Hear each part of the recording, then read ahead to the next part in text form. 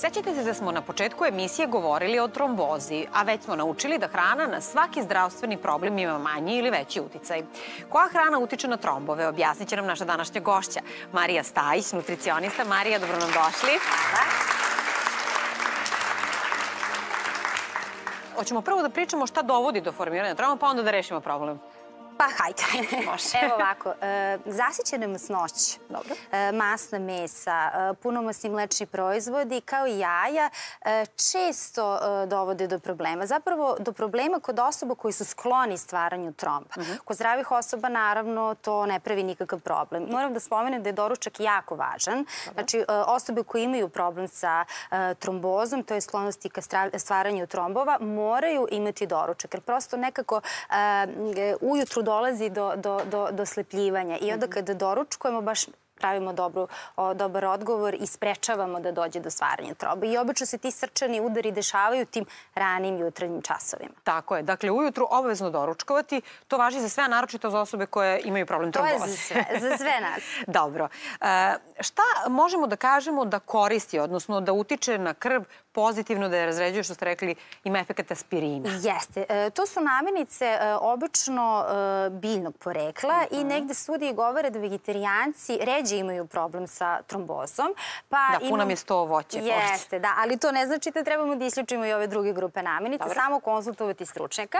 E, ovde imamo šljive, e, imamo e, borovnice i ostalo bobičasto voće, kupine, maline su e, takođe odlične. Imamo jabuku koja je tekako dobra. Imamo celer, paprike. Kada je paprika u pitanju i crvena, to jest i slatka i ljuta paprika su dobre. Dobro, evo su. Jeste. Razne, ali tako sve? E, takođe. Začini su odličan, e, ovaj, da kažemo, prirodan biljni aspirin. Imamo ruzmarin, e, kurkumu, opet da spomenemo i beli luk. Kurkuma čuvena, ona, čini mi se, nema, ne, nema, nema gde nema, nema primenu. Da, da, da. Evo Jeste. Divan beli luk, to je opšte poznato. Volila bi samo eto čisto da spomenem, isto neke studije povezuju beli luk, jer on negde ima to antibakterijsko dejstvo, pa uh -huh. prosto taj K vitamin vitamin koji je bitan za e, koagulaciju e, se stvara od tih nekih crevnih bakterija, one ga proizvode. Pa negde taj beli crni luk mogu da smanje tu e, aktivnost tih bakterija, pa opet, eto, to su neke studije koje su kao pokazale. To znači Ali, beli crni luk treba uzimati? Jeste. Tako je, naravno, džumbir njega ne izostavljamo nigde. Tamo u ćošku imamo lešnik i badem. Mm -hmm. To su namirnice koje su prirodan izvar E-vitamina. E-vitamin je večiti rival K vitaminu. E, posle ćemo ispomenuti malo o tom K vitaminu i zaista to treba da se uzima, ali ne u velikim količinama. To jeste izvor dobrih masnoća, međutim ako se pretera to može biti problem. I, i dalje stoji ono pravilo šake, je li tako? Yes. Šta može da stane ne u punu yes, šaku, da. nego ovako u dlan, tako to je, sasvim dovoljno, tako, je li tako? tako je. Više od toga ne bi trebalo. Jeste. Pomenuli ste uh, K vitamin. Uh, ono što se često savjetuje ljudima koji imaju tromb jeste da ne bi trebalo da jedu zeleno povrće. Tu mislimo na zelenu salatu, na blitvu, na spanać i tako dalje. Zašto? E, K vitamin dovodi do suprotnog dejstva ukoliko su pacijenti na antikoagulantnoj terapiji. E, to ne znači da mi to skroz trebamo da isključimo. Samo trebamo voditi računa o količini uh mhm. -huh. E, i to je s namirnicama koje prijedno se drže vitamin K. Čak i sve ove namirnice koje smo spomenuli moramo oprezno da kombinujemo pored tog nekog zelenog lisnatog povrća. Moramo voditi računa da ne preteramo sa džumbirom, sa belim lukom. Znači tu zaista moramo biti obazrivi, ali ponavljam, to onako sada deluje strogo, -huh. Ne znači da to moramo da isključimo, samo voditi računa o količini. Tako je. I da to ne bude svakodnevno. Tako je. Uh, ovde se nalazi zeleni čaj, nalazi se i laneno seme. Jeste. Uh, zašto imamo ove dve namirnice ovde? Uh, imamo zeleni čaj kao biljku koja sadrži katehin, koji je odličan, ajde da kažemo, i antikoagulant i antitrombocit, tako da to je razlog. Lan imamo kao izvor omega-3 masi kiselina, takođe i riba.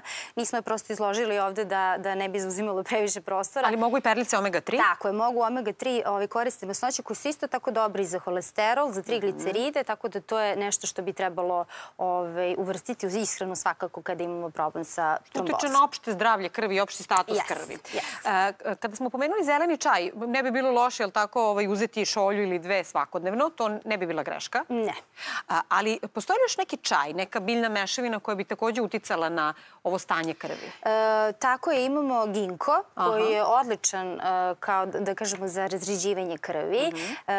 Imamo divlji kesten, imamo biljku kokotac. Prosto i tu bi trebalo konsultovati fitoterapeuta čisto da se vidi šta je to, jer i te namirnice, to jest te biljke ne bi trebalo forsirati kod terapije sa antikogulantima. Znači, zaista ima jako puno biljaka koji su dobri za cirkulaciju, za protivagregacije trombocita, znači Ove, ovaj, eto, pored tog zelenog čaja i sve ovo što smo naveli. I ove biljke.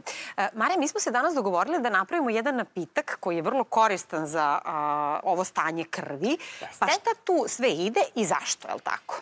Pa evo, sad smo spomenuli šta, koji su to benefiti ovih namirnica. Znači, uh -huh. e, imamo jabuku, e, imamo beli luk, limun, e, imamo kajen papriku koja je jako dobra. Znači, Šta je kajen paprika? Pa to je paprika, vrsta paprike, ljuta paprika, paprika koja prosto e, utiče na, na, ovi, znači, na razređivanje krvi, ajde tako prosto da kažem. A svaka ljuta paprika e, malo razređuje krv? E, jeste, znači prosto te, te, te ovi, ne samo ljute, znači čak i, i obična paprika, slatka paprika je poželjna. Uh uh -huh. Ovo je kajen paprika, je li tako? Jeste jeste. To ona je... ide ovako u prahu? Da, nju ćemo staviti u prahu. E, nalazi se... Ili ima ona da se kupi u zdravim hranama? Jeste, nalazi se u bolje snabdevenim zdravim hranama, tako da, eto, ovo ćemo čisto samo malo pokazati. Ko nema kajem papriku, može i običnu ljutu, ili tako, alevu papriku? Može, može, ali one prosto. I, i džumbir isto odlično. Ovde može da se doda i džumbir. Dobro. Tako da, eto, dodat ćemo čen malo... belog luka. Evo ja ću to da sad... Pa sad možemo da improvizujemo. Znači, mm -hmm. zaista sve je negde stvar ukusa. Ovde smo se uh, opredelili za jabuku, mm -hmm. ali mogu da budu i borovnice. Mm -hmm. One su isto odličan antikoagulant. A recite mi, aronija i ribizla? Pa da, uglavnom, e, e, prije voće, pre voće ovaj, e, izvor salicilne kiseline, ima i mhm. povrće, spomenuli smo paprike, luk i tako mhm. dalje, ali prosto pre, pre voće i čak negde ovaj, ovako sveže je odličan izbor. Za papriku? Tako je, dodit E sad, ono što je najvažnije, kad neko vidi ja ima trombi i hoće da napravi sebi ovaj napitak, kada ga pije i da li to sme svaki dan? Pa ovako, e, naravno bez da postoji terapija, Aha. to smo već rekli, znači ukoliko postoji terapija to već mora biti malo umerenije.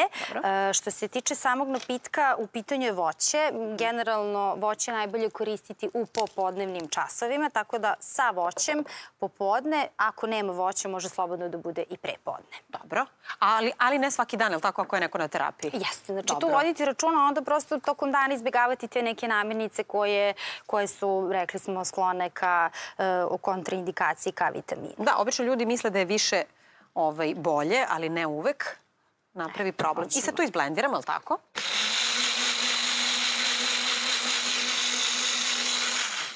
Evo ga gotove, je li tako? Tako je. Evo ga.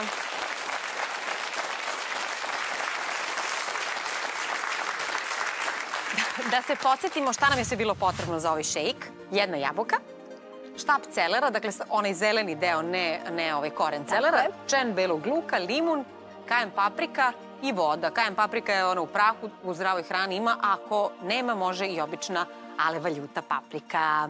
Marija, mnogo vam hvala na svim informacijama. Vidjet ćemo se ponovo.